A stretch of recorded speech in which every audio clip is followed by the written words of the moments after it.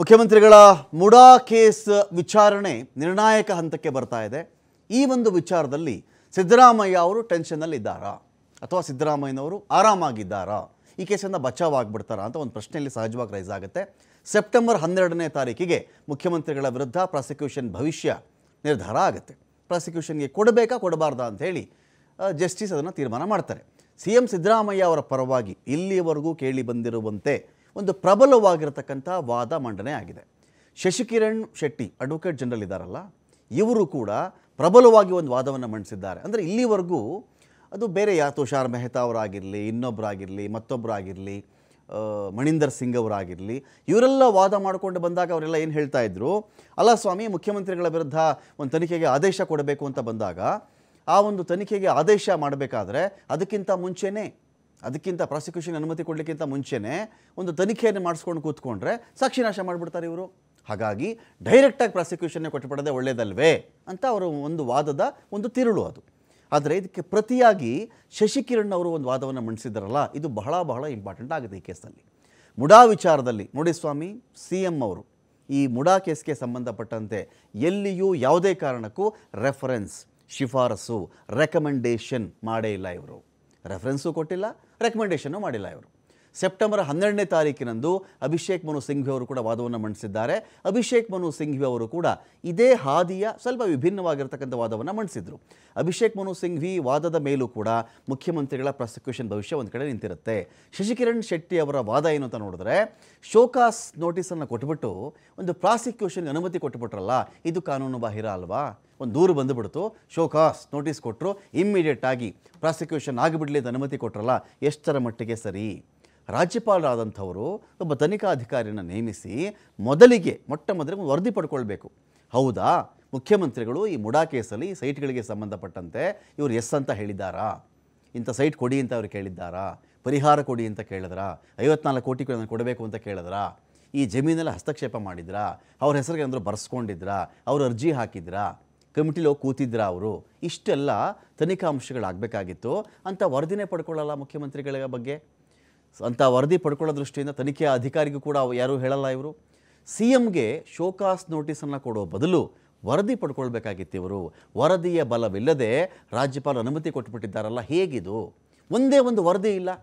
ದೂರು ಕೊಟ್ಟರು ಯಾವುದೋ ನಾಲ್ಕು ಸ್ವಲ್ಪ ಡಾಕ್ಯುಮೆಂಟ್ ಸಬ್ಮಿಟ್ ಮಾಡಿದ್ರು, ಓಹೋ ಮಾಡಿಬಿಟ್ಟಿದ್ದಾರೆ ಇವರು. ವಿಚಾರಣೆ ಎದುರಿಸ್ಬಿಡ್ಬೇಕು ಇವರು. ತಂದು ಕಟಕಟೆಗೆ ನಿಲ್ಲಿಸ್ಬಿಡಿ ಅಂತ ಹೇಳಿದ ತಕ್ಷಣ ರಾಜ್ಯಪಾಲ ಅನುಮತಿ ಕೊಟ್ಟು ಬಿಡ್ತಾರೆ ಹೇಗಿದು? ಮುಖ್ಯಮಂತ್ರಿಗಳು ಕೈಗೊಂಡಂಥ ನಿರ್ಧಾರ ಶಿಫಾರಸ್ಸಿನಲ್ಲಿ ಅಪರಾಧಿಕ ಅಂಶಗಳಿರಬೇಕಾಗತ್ತೆ. ಈ ಮುಡಾ ಪ್ರಕರಣದಲ್ಲಿ ಎಲ್ಲಿಯಾದರೂ ನೇರವಾಗಿ ನೇರವಾಗಿ ಸಿದ್ದರಾಮಯ್ಯ ಎಂಬ ಹೆಸರಿನ ವ್ಯಕ್ತಿ, ಸಿದ್ದರಾಮಯ್ಯ ಎಂಬ ಹೆಸರಿನ ವ್ಯಕ್ತಿ ನೇರವಾಗಿ ಪಾಲ್ಗೊಂಡಿರಬೇಕು.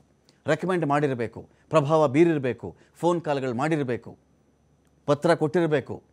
ಒತ್ತಡ ಹಾಕಿರಬೇಕು. ಆ ಥರದ ಅಂಶ ಇದೆಯಾ? ಒಂದು ಬೇಸಿಕ್ ವರದಿಯನ್ನು ರಾಜ್ಯಪಾಲರು ಪಡ್ಕೊಳ್ಳಿಲ್ವಲ್ಲ ಈ ವಿಚಾರದಲ್ಲಿ? ಒಂದಷ್ಟು ಜನ ಬಂದರು ಡಾಕ್ಯುಮೆಂಟ್ ಕೊಟ್ಟರು ಮುಖ್ಯಮಂತ್ರಿಗಳ ಪತ್ನಿ ಇದ್ದಾರೆ, ಅವ್ರ ಮಗ ಕಮಿಟಿಲಿ ಕೂತಿದ್ರು, ಅವ್ರಿಗೆ ಅವರಿಂದ ಬಂತು, ಮಲ್ಲಿಕಾರ್ಜುನ ಸ್ವಾಮಿ, ಮೈಲಾರಯ್ಯ, ನಿಂಗ, ದೇವರಾಜ, ಇದು ಹೇಳಿಬಿಟ್ರು ಅದನ್ನು ತಂದು ಮುಖ್ಯಮಂತ್ರಿ ತಳಕ್ಕೆ ಹಾಕಿಬಿಟ್ಟು ಇಲ್ಲಿ ಮಾಡಿಬಿಟ್ರಲ್ಲ ಸರಿನಾ?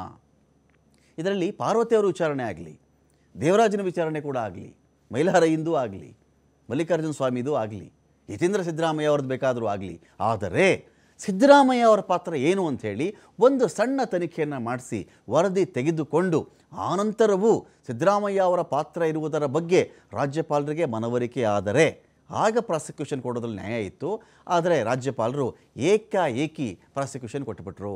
ಈ ಡಿನೋಟಿಫಿಕೇಷನ್ ಕೇಸ್ನಲ್ಲಿ ಮುಖ್ಯಮಂತ್ರಿ ಆಗಿದ್ದಿದ್ದು ಬಿ ಎಸ್ ವೈ ಅವರು, ತೀರ್ಮಾನ ತಗೊಂಡಿದ್ದು ಅವರು. ನೋಟಿಫೈ ಮಾಡಬೇಕಾ, ಡಿನೋಟಿಫೈ ಮಾಡಬೇಕಾ ಅಂತ ತೀರ್ಮಾನ ಮಾಡಿದವರು ಬಿ ಎಸ್ ಯಡಿಯೂರಪ್ಪನವರು, ನಾಟ್ ಸಿದ್ದರಾಮಯ್ಯ. ಬುಡಾ ಕೇಸಲ್ಲಿ ಸಿದ್ದರಾಮಯ್ಯ ಅವರು ಎಲ್ಲಿಯೂ ಯಾವ ತೀರ್ಮಾನವನ್ನು ಮಾಡೇ ಇಲ್ಲ. ಮುಖ್ಯಮಂತ್ರಿಗಳ ಕರ್ತವ್ಯದ ಭಾಗವಾಗಿಯೂ ಈ ಕೃತ್ಯ ಆಗಿಲ್ಲ ಸ್ವಾಮಿ. ಸಿ ಎಂ ಕರ್ತವ್ಯ ನಾನು ಮಾಡ್ತಾ ಇದ್ದೀನಿ ಅಂತ ಕೂಡ ಇದನ್ನು ಸಿದ್ದರಾಮಯ್ಯನವರು ಮಾಡಿಲ್ಲ. ಎಫ್ ಐ ಆರ್ ದಾಖಲಿಸೋದಕ್ಕಿಂತ ಮುಂಚೆ ಪ್ರಾಥಮಿಕ ತನಿಖೆಯ ಇನಿಷಿಯಲ್ ಇನ್ವೆಸ್ಟಿಗೇಷನ್ ಪ್ರೈಮರಿ ಇನ್ವೆಸ್ಟಿಗೇಷನ್ ಅಗತ್ಯ ಇತ್ತು. ಆದರೆ ಸೆಕ್ಷನ್ ಸೆವೆಂಟೀನ್ ಎ ಅಡಿಯಲ್ಲಿ ಅನುಮತಿಗೆ ಪ್ರಾಥಮಿಕ ತನಿಖೆ ಆಗಿರಬೇಕೆಂದಿಲ್ವೇ ಇದಕ್ಕೆ ಅವಕಾಶ ಕೊಟ್ಟುಬಿಟ್ರೆ ಸ್ವಾಮಿ, ಅಪ್ಪಿ ತಪ್ಪಿ, ಇವತ್ತು. ಈ ಪ್ರದೀಪ್ ತಂದು ಕೊಟ್ಟುಬಿಟ್ರು, ಅಬ್ರಹಾಂ ತಂದು ಕೊಟ್ಟುಬಿಟ್ರು, ದೂರು ಇನ್ನೊಬ್ಬರು ತಂದು ಕೊಟ್ಟುಬಿಟ್ರು, ಸ್ನೇಹಮಯಿ ಕೃಷ್ಣ ಕೊಟ್ಟುಬಿಟ್ರು ಅಂತ ಏನಾದರೂ ರಾಜ್ಯಪಾಲರು ಈ ಪ್ರಾಸಿಕ್ಯೂಷನ್ಗೆ ಅನುಮತಿ ಕೊಟ್ಟಿರುವುದನ್ನು ಒಂದು ವೇಳೆ ಕೋರ್ಟ್ ಎತ್ತಿ ಹಿಡಿದರೆ ದಿನನಿತ್ಯ ರಾಜಭವನದ ಕಡೆ ಯಾರೆಲ್ಲ ಸಂಚರಿಸ್ತಾ ಇರ್ತಾರೋ, ಯಾರೋ ಬಂದು ಒಂದು ಅರ್ಜಿ ಕೊಟ್ಟುಬಿಟ್ರೆ ಸಾಕು. ಓ, ತನಿಖೆ ಮಾಡಿಸ್ಕೊಂಡು ಕೂತ್ಕೊಂಡ್ಬಿಟ್ರೆ ಇದ್ರ ಸಾಕ್ಷಿಗಳು ಹಾಳಾಗ್ಬಿಡ್ತವೆ, ಇವ್ರು ಸಾಕ್ಷಿ ನಾಶ ಮಾಡಿಬಿಡ್ತಾರೆ ಅನ್ನೋ ಒಂದು ಕಾರಣ ಇಟ್ಕೊಂಡು ಎಲ್ಲವನ್ನೂ ಮುಖ್ಯಮಂತ್ರಿಗಳು ತನಿಖೆ ಫೇಸ್ ಮಾಡಬೇಕಾಗತ್ತೆ. ಅವ್ರು ಆಡಳಿತ ಮಾಡೋದು ಯಾವಾಗ? ಆ ಥರ ದೂರು ಕೊಟ್ಟುಬಿಡ್ತಾರೆ ಸ್ವಾಮಿ. ರಾಜಭವನದ ದಾರಿ ಹೋಗ್ರೆ ಯಾರು ಬೇಕಾದರೂ ಬಂದುಬಿಟ್ಟು ರಾಜಭವನದ ಒಳಗಡೆ ನಾನು ದೂರು ಕೊಡ್ತೀನಿ, ನಾನು ದೂರು ಕೊಡ್ತೀನಿ ಅಂತ ಬರೀ ಸಿದ್ದರಾಮಯ್ಯನವರಲ್ಲ, ಯಾರ ಮೇಲೆ ಬೇಕಾದ್ರೂ ಒಂದು ದೂರು ಗೀಚಬಹುದು. ಸಕ್ಷಮ ಪ್ರಾಧಿಕಾರಿಯೇ ಇದನ್ನೆಲ್ಲ ವಿಚಾರಣೆ ನಡೆಸಿದ್ರೆ ಸಮಸ್ಯೆ ಆಗುತ್ತೆ. ತನಿಖಾಧಿಕಾರಿ ಥರದಲ್ಲಿ ಇನ್ವೆಸ್ಟಿಗೇಷನ್ ಆಫೀಸರ್ ಥರ ರಾಜ್ಯಪಾಲರು ವರ್ತನೆ ಮಾಡುವಂತಿಲ್ಲ. ಖಾಸಗಿ ದೂರುದಾರರ ಮನವಿಯನ್ನು ರಾಜ್ಯಪಾಲರು ವಾಪಸ್ ಕಳಿಸ್ಬೇಕಾಗಿತ್ತು.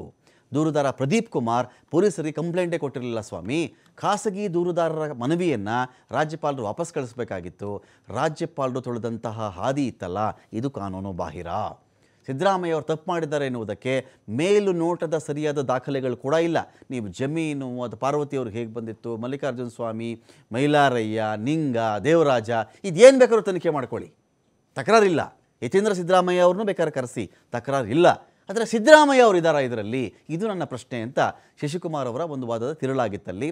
ಪೊಲೀಸ್ ಅಧಿಕಾರಿಗೆ ಕಂಪ್ಲೇಂಟ್ ಕೊಟ್ಟ ಬಳಿಕ ಸಮಯನೇ ಕೊಟ್ಟಿಲ್ಲ ಇವರು. ತರಾತುರಿಯಲ್ಲಿ ರಾಜ್ಯಪಾಲರಿಗೆ ದೂರು ಕೊಟ್ಬಿಡ್ತಾರೆ. ಅಲ್ಲೂ ಕೊಟ್ಬಿಡೋದು, ಇಲ್ಲೂ ಕೊಟ್ಬಿಡೋದು, ದೂರು. ಸ್ಯಾಂಕ್ಷನ್ ಕೊಟ್ಬಿಟ್ಟು ಕೇಳಿಬಿಟ್ಟಿದ್ದಾರೆ. ಪ್ರಾಸಿಕ್ಯೂಷನ್ ಆಗಬೇಕು ಅಂತೇಳಿ ಮೂರು ವ್ಯಾಲ್ಯೂಮ್ಗಳ ದಾಖಲೆಯನ್ನು ರಾಜ್ಯಪಾಲರ ಪರ ವಕೀಲರು ಕೊಟ್ಟಿದ್ದಾರೆ ಸ್ವಾಮಿ.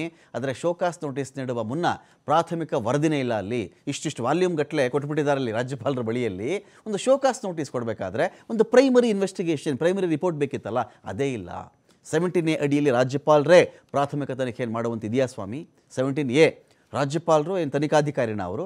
ಅವರೇ ಪ್ರಾಥಮಿಕ ತನಿಖೆ ಮಾಡಿಬಿಡ್ತಾರಾ? ಒಂದು ತನಿಖೆ ಮಾಡಿಸ್ಬೇಕಾಗಿತ್ತು ರಿಪೋರ್ಟ್ ತಗೋಬೇಕಾಗಿತ್ತು, ಅಲ್ಲಿಯೂ ಕಂಡು ಬಂದಿದ್ದಾಗ ಪ್ರಾಸಿಕ್ಯೂಷನ್ ಕೊಟ್ಟಿದ್ರೆ ಓಕೆ ಇದು ಎ ಜಿ ಅವರ ವಾದ. ಸಚಿವ ಸಂಪುಟ ನಿರ್ಧಾರವನ್ನು ತಿರಸ್ಕರಿಸುವ ಅನಿಯಂತ್ರಿತ ಅನ್ಕಂಟ್ರೋಲ್ಡ್ ಪವರ್ ರಾಜ್ಯಪಾಲರಿಗಿಲ್ಲ.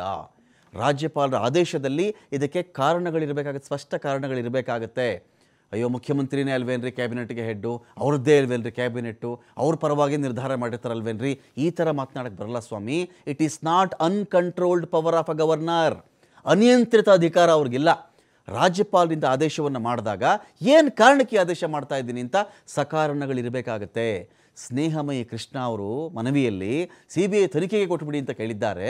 ರಾಜ್ಯಪಾಲರ ಆದೇಶ ಸೆವೆಂಟೀನ್ ಎ ಅಡಿ ಇರಬೇಕೇ ಹೊರತು ಅವರ ಫೈಲ್ ನೋಟಿಂಗ್ಗಳಲ್ಲಿ ಅಲ್ಲ ಸ್ವಾಮಿ ಅಂತ ಕೂಡ ಇಲ್ಲಿ ಶಶಿಕಿರಣ್ ಶೆಟ್ಟರ್ ವಾದವನ್ನು ಮಾಡಿದ್ದಾರೆ. ಹಾಗಾಗಿ ಶಶಿಕಿರಣ್ ಶೆಟ್ಟರ್ ವಾದ ಆಗಲಿ, ಅಭಿಷೇಕ್ ಮನೋ ಸಿಂಘ್ವಿ ಅವರ ವಾದ ಆಗಲಿ, ಆ ಕಡೆ ಮಣಿಂದರ್ ಸಿಂಗ್ ಅವರ ವಾದ ಆಗಲಿ, ತುಷಾರ್ ಮೆಹ್ತಾ ಅವರ ವಾದ ಆಗಲಿ, ಇವೆಲ್ಲವನ್ನೂ ನಾವು ಗಮನಿಸ್ತಾ ಇದ್ದಾಗ ಇಲ್ಲಿ ಪ್ರತಿಯೊಬ್ಬರೂ ಕೂಡ ಕಾನೂನು ಮೀರಿ ಯಾರೂ ಮಾತಾಡ್ತಾ ಇಲ್ಲ.